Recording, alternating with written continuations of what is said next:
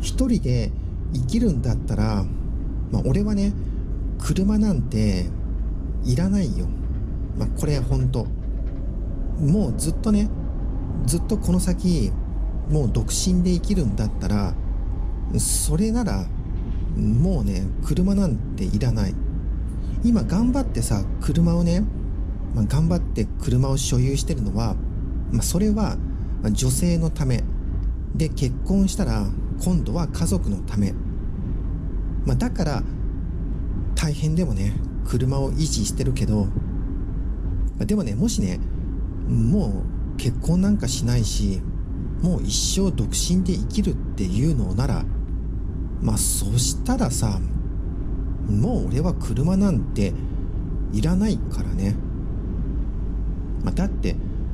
自転車があればもうそれでいいから。今大変でも俺が車を維持してるのは、まあ、それはさ、まあ、女性を楽しませるためだし、まあ、いずれ結婚したら家族を楽しませるため、ま、そのために